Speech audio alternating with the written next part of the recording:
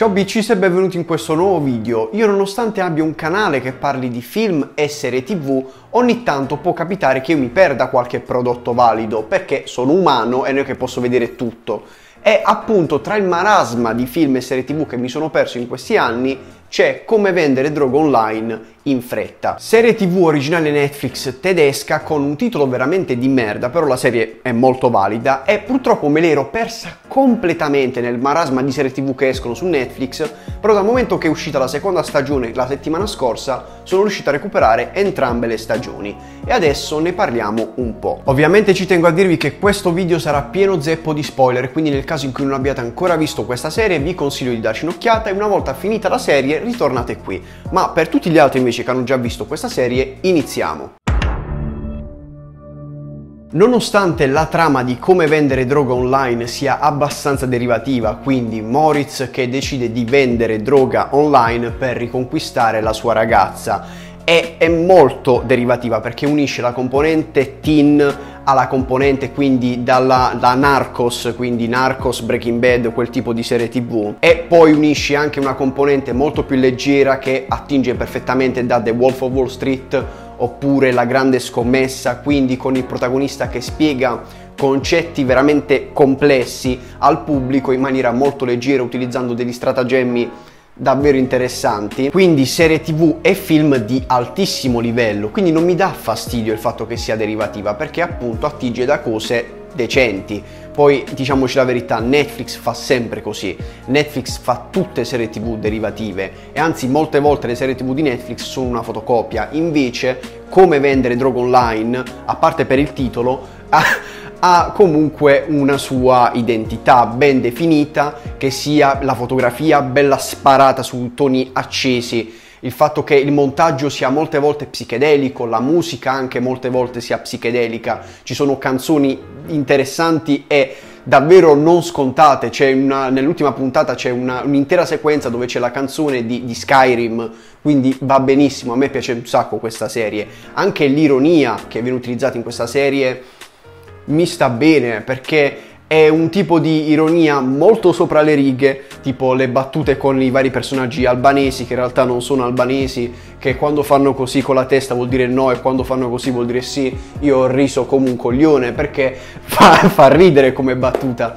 Però ogni tanto ci buttano la comicità fisica che quando si tratta di eh, picchiare Moritz, perché Moritz è protagonista, buscatandogli quelle mazzate, ma va bene così, però ogni tanto ci vogliono mettere la violenza sugli animali, che è effettivamente ancora un tabù, è ancora un po' un tabù e non mi dà più di tanto fastidio nei videogiochi.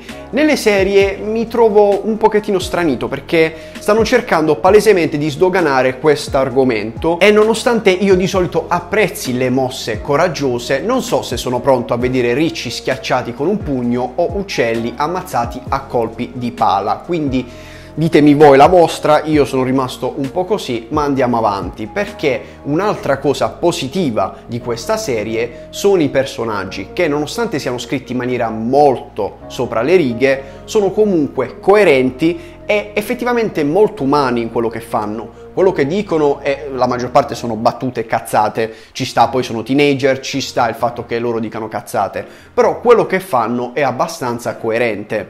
E quindi molte volte sei portato, lo spettatore è portato ad amare e ad apprezzare i personaggi, ma alcune volte anche ad odiarli. Questa cosa va benissimo in una serie, mi piace questa cosa.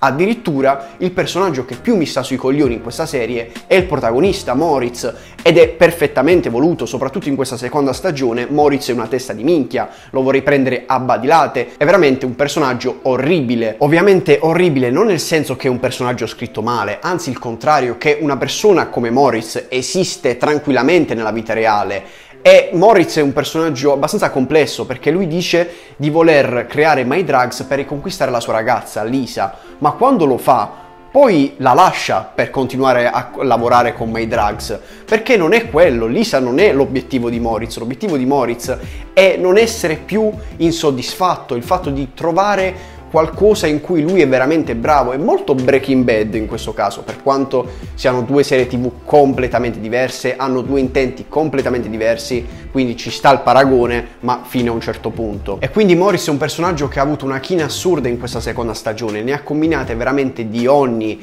ha continuato a mentire spudoratamente a fidanzate, amici, parenti per raggiungere il proprio obiettivo e ne paga le conseguenze in questa seconda stagione. Seconda stagione che a differenza della prima ha un tema ben definito, perché mentre la prima stagione è soltanto una grossa introduzione, la seconda ha un tema ben definito, ossia la fiducia.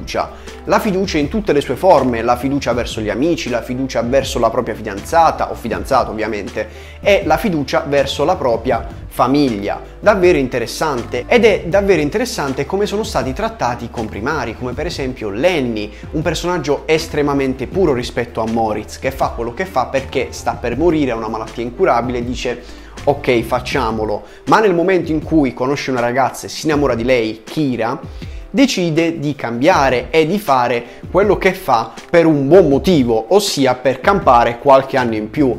Quindi è già un, motivo un pochettino più comprensibile. Esattamente come è comprensibile quello che fa Dan, perché Dan è un personaggio che si trova lì per caso, assolutamente per caso, e che suo malgrado si ritrova invischiato in questo mondo, nonostante lui avesse già un background affiliato alla malavita, però era uno spacciatore scolastico, non era Pablo Escobar. Comunque si trova lì in mezzo e quindi si adegua. E il personaggio di Dan mi piace particolarmente perché ha avuto il tipo di progressione che piace a me, che secondo me è quella migliore dell'intera serie, ossia il bullo che diventa buono con un motivo e comunque coerente come personaggio, esattamente come Steve in Stranger Things. Quei tipi di personaggi mi piacciono veramente tanto, quindi ottimo lavoro. Sui personaggi di Kira e Lisa non riesco ad esprimermi fino in fondo invece, perché perché Kira è un personaggio che è stato approfondito poco, è davvero accennato, sappiamo leggermente qualche cosa sul suo passato, sappiamo che è un passato turbolento, ma va bene così, sappiamo anche che è bravissima con il computer, però aspetto di pronunciarmi magari in un'eventuale terza stagione. Lisa invece a livello di progressione come personaggio nella seconda stagione mi sta incominciando a piacere, perché nella prima la odiavo, veramente non la sopportavo, era di un fastidioso immane. In questa seconda stagione ho imparato un pochettino più a conoscerla, a capirla e quindi va bene. Però anche in questo caso voglio vedere come va avanti la storia e poi mi pronuncio su Lisa perché non voglio dire cavolate. Ma adesso parliamo dei difetti perché ovviamente questa serie non è perfetta, ha dei difetti. Ha in realtà un difetto principale, ossia il ritmo il ritmo è davvero altalenante ed è dovuto secondo me ai 6 episodi per stagione. Troppo poco, davvero troppo poco due o tre episodi in più avrebbero sicuramente giovato a questa serie. E invece no, viene completamente abbandonata la storyline di Gerta che viene liquidata nella prima puntata della seconda stagione con una battuta. Morris fa di tutto per rimettersi con Lisa e quando si rimette con lei dopo una puntata la lascia. Dan a fine stagione, a fine prima stagione, era completamente una persona che stava lì per caso. Nella prima puntata già è, è amicona con Lenny e leggermente con Moritz, lì ci sono alcuni contrasti No, Moritz che fa amicizia con gli albanesi in due minuti di orologio e non fraintendetemi, quello che succede nella storia va benissimo. Il problema è che succede tutto troppo in fretta e qualche episodio in più sicuramente avrebbe giovato a questa serie. Ma basta così, il finale è veramente tanta roba, il finale della seconda stagione è tantissima roba non vedo l'ora che esca la terza stagione perché è finito con un bel cliffhangerone con Moritz che perde tutto, quindi amici e lavoro. È davvero interessante, non vedo l'ora di vedere questa terza stagione, sperando che si faccia, perché se non la fanno è un po' un peccato. Però citando la serie, alla fine andrà tutto bene e se non andrà bene non è la fine del mondo. Fatemi sapere qua sotto nei commenti cosa ne pensate di questa seconda stagione di come vendere la droga online e come al solito vi invito a mettere like, iscrivervi al canale, condividere il video e seguirmi su Instagram. Fabio Santoro 98. Noi ci vediamo alla prossima. Ciao a tutti ragazzi.